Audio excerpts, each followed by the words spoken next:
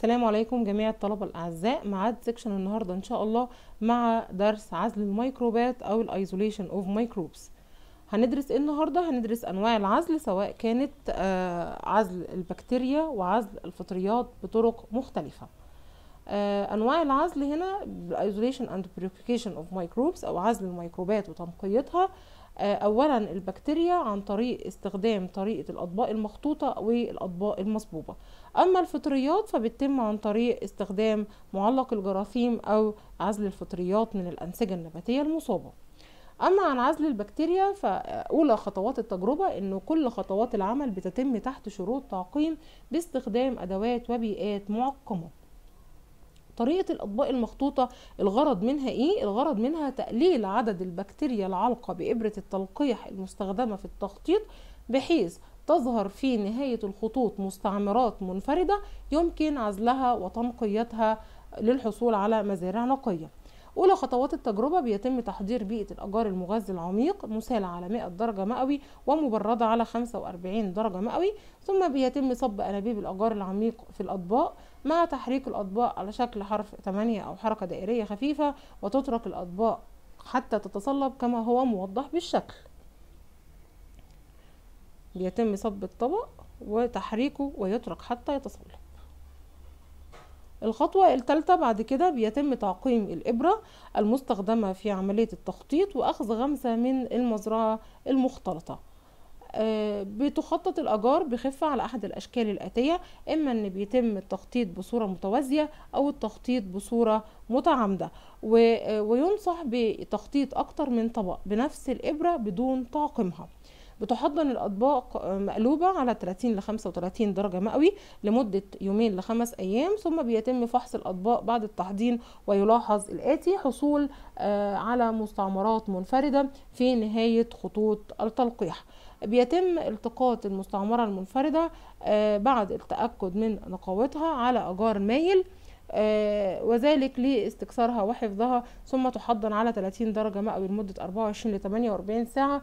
وبعد ظهور النمو بيتم حفظ حفظ المستعمرات أو حفظ مزارع الأجار المائل في الثلاجة لحين استخدامها الطريقة التانية من طرق عزل البكتيريا هي طريقة الأطباق المصبوبة والغرض منها هو تخفيف المزرعة بحيث تنمو الميكروبات في آه، بصورة منفردة في نهاية أطباق التخفيف. طيب آه، إيه إيه الخطوات؟ رقم واحد بتأكد إن موجود معايا مزرعة الميكروبات المختلطة المراد تنقيه الميكروبات بيها. آه، بيتم تسييح أنابيب أجار مغذي عميق في حمام مية بيغلي وبتبرد على 45 درجة مئوي. بيتم تلقيح مزرعة آه، الأنابيب أجار الم- المغذي بواسطة غمسة من مزرعة الميكروبات المختلطة في أول أنبوبة ثم ترج بين راحتي اليد جيدا. وبعد كده بيتم أخذ غمستين من الأنبوبة رقم واحد للأنبوبة رقم اتنين وأخذ ثلاث غمسات من الأنبوبة رقم ثلاثة للأنبوبة رقم أربعة أخذ آه، أربع غمسات من الأنبوبة رقم أربعة للأنبوبة رقم خمسة. وبعد كده بيتم صب أنابيب الأجار العميق المحتويه على غمسات من مزرعة آه، مزرعة البكتيريا المختلطة وبيئة آه، بيئة العزل. في أطباق مع تحريك الطبق حركة دائرية خفيفة ثم تترك الأطباق حتى تتصلب بعد كده خطوة التحضير آه، على 30 ل 35 درجة مئوي لمدة من يومين لخمس أيام. ثم يتم فحص الأطباق بعد التحضير ويلاحظ إنه في الأطباق آه، الأولى التخفيف فيها آه، منخفض وبالتالي عدد الميكروبات أعلى آه، أعلى. أما في آه، نهاية آه، التخفيفات فالتخفيفات بتكون عالية وبالتالي بيقل عدد الميكروبات أو المستعمرات المنفردة التي يمكن الحصول عليها وزرعها على الأجار المائل للحصول على مزارع نقية من الميكروب المراد عزله. آه، أما عن عزل الفطريات فقلنا إن هي بتتم إما باستخدام أنسجة نباتية مصابة أو معلق الجراثيم. أما عن طريقة الأنسجة النباتية المصابة فبيتم الحصول على ثمرة مصابة بأحد الفطريات الممرضة. بيتم عمل تعقيم سطحي للثمرة بمحلول كلوريد الزئبقيق واحد لمية. بيتم غسيل الثمرة بالماء المعقم عدة مرات ثم تقطع الأجزاء المصابة بمشرط معقم. آه، مع مراعاة الحصول على نسيج آه، سليم مجاور للنسيج المصاب.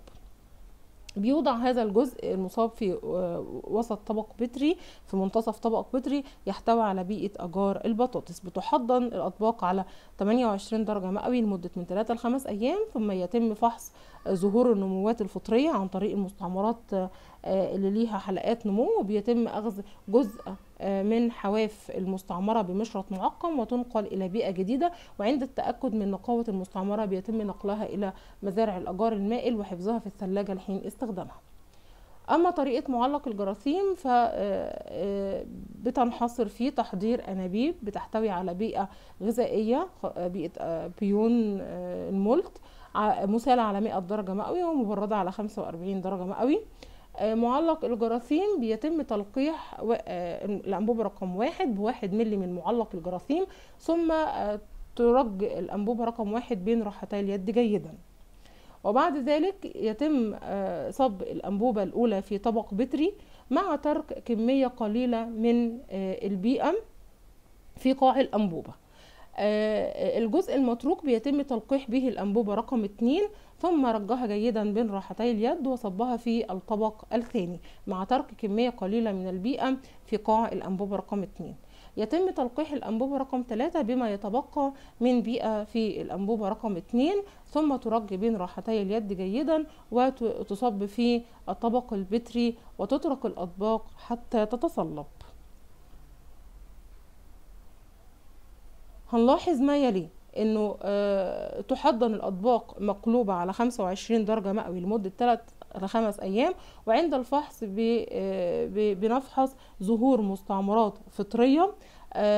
من خلال معرفة المستعمرات الفطرية من حلقات النمو الخاص بها بتقطع حواف البيئة بمشرط معقم وتنقل لبيئة جديدة وعند ظهور ثم تحضينها على 25 درجة مئوي لمدة من 3 ل 5 أيام وعند التأكد من نقاوة المزرعة بيتم تجديدها على مزارع الأجار المائل وحفظها في الثلاجة لحين استخدامها. ومن هنا بقول شكرا وإلى اللقاء في محاضرة قادمة بإذن الله.